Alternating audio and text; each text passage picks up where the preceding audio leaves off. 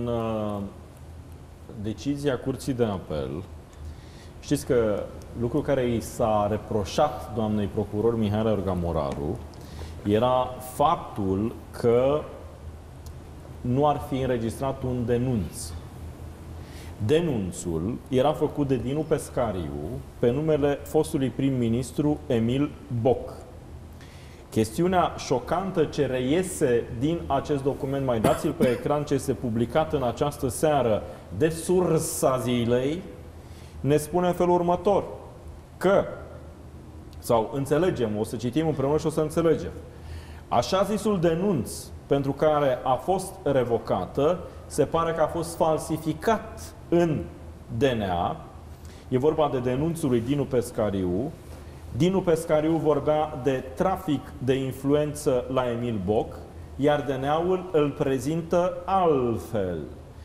Părerea noastră este că vor să-l scoată pe Emil Boc, pentru că nu există, și aici este foarte tare în decizia Curții de Apel, care zice așa, Citez, având în vedere că denunțul formulat de Pescariu Dinu nu are rezoluția procurorului șef și nici nu figurează înregistrat în registrul de evidență actelor de urmărire penală și de supraveghere a acesteia, este necesar a se stabili data exactă a formulării denunțului necesar ă, denunțului în vederea aplicării, neaplicării dispozițiilor din aliniatul 292, articolul 292 aliniatul 2 față de Pescariu Dinu. Precizez că prin ordonanța din data de 25 a 4 a 2017 s-a dispus efectuarea în continuare a urmăririi penale față de pescarii Odinu sub aspectul săvârșirii infracțiunii de cumpărare de influență.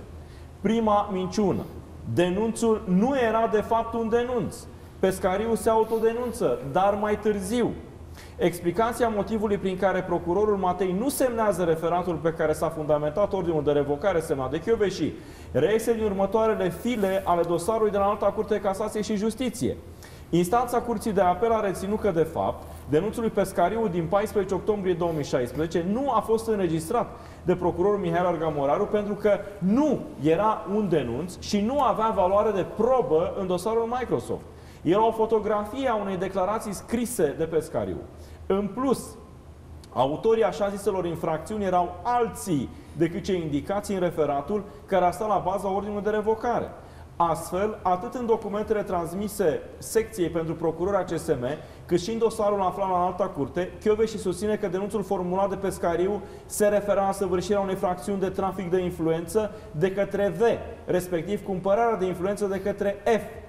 Iată ce reține însă instanța. În realitate, cităm, în realitate, denunțul lui Pescariu Dinu din 14 a 10 a 2016, așa zisul denunț, pentru că la acea dată Pescariu nu s-a prezentat la DNA, ci a transmis procurorului Moraru Iorga în format electronic o fotografie a unei declarații a sa. Prin urmare, respectiva fotografie nu putea fi considerată denunț și a fost completată ulterior cu o declarație dată de Pescariu în fața anchetatorului pe un formular tip nu comunică, spune instanța, numele persoanei ce săvârșea traficul de influență, ci doar numele cumpărătorului de influență.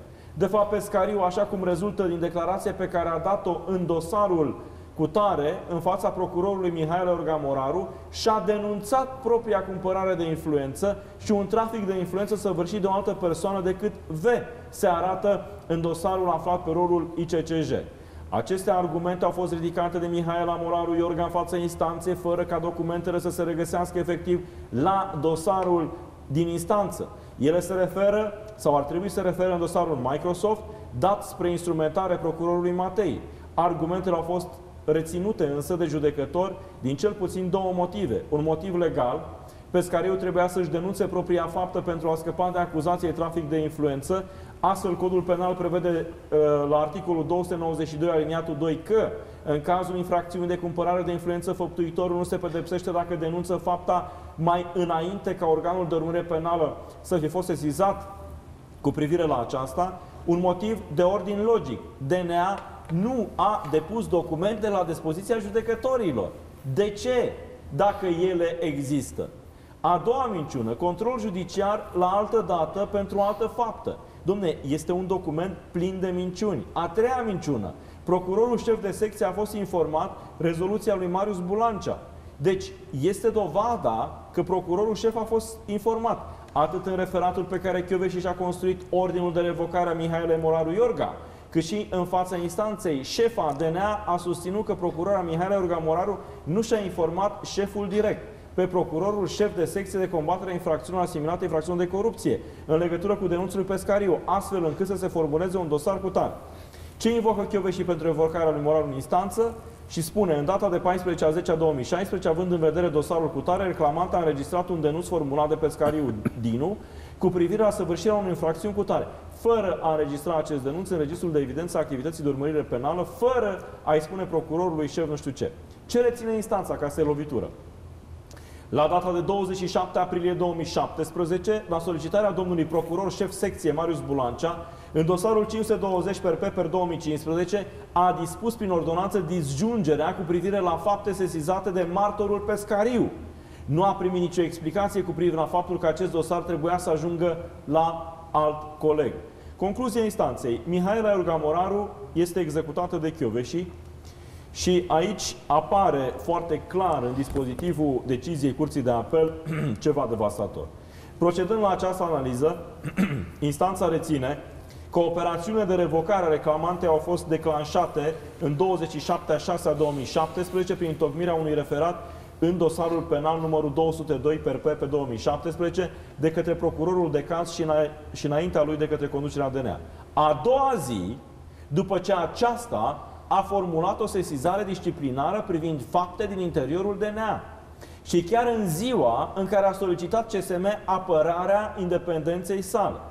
Cu toate acestea, se observă că faptele imputate reclamante erau cunoscute pârâtului, șefa DNA, de cel puțin două luni, cel puțin din data de 27 a 4 a 2017, când denunțul formulat de pescariu Dinu a fost disjuns de reclamantă în dosarul numărul 520 per pe, pe 2015, fiind formulat dosarul cu tare.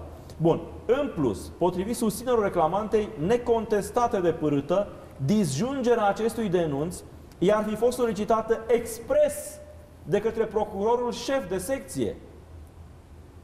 Doamne ferește, ca atare, împrejurarea că în intervalul 27 a 4 26 a 7 părâtul șefa DNA nu a întreprins niciun demers împotriva reclamantei, coroborată cu împrejurarea că aceste demersuri au fost declanșate imediat după formularea de către reclamantă a sesizării disciplinare din data de 26 a 7 a 2017 ridică semne de întrebare asupra motivelor reale, oportunității și legalității procedurii de revocare. Bun, e devastator. Citiți-l tot pe sursa zilei. E întrebare... Și, și puțin cam complicat așa la nu, prima dar citire, dar să rămânem totuși cu ideea că pârâta e și în cazul am o rugăminte, Am o rugăminte și o întrebare, că e totuși foarte serioasă treaba.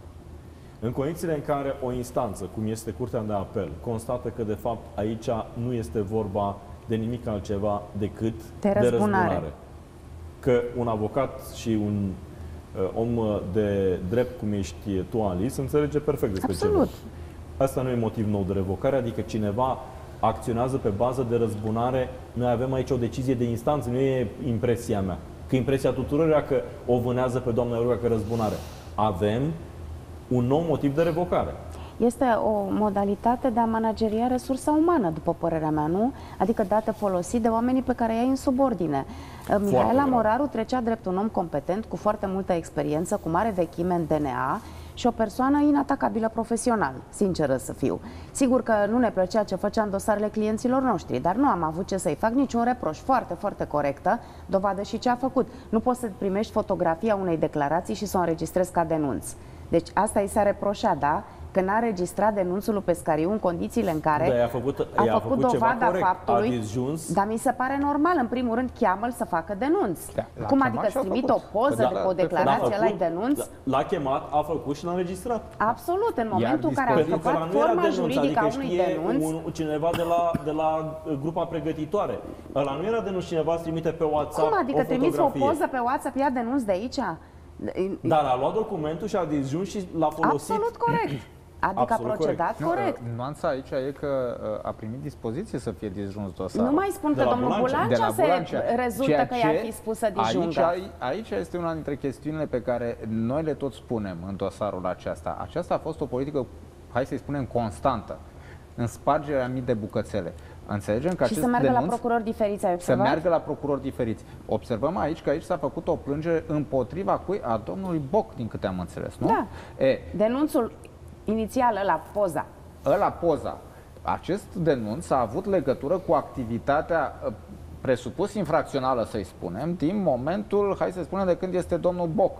Inclusiv momentul uh, semnării HG-ului din 2009. 2009-2012, Boc. 2009-2012.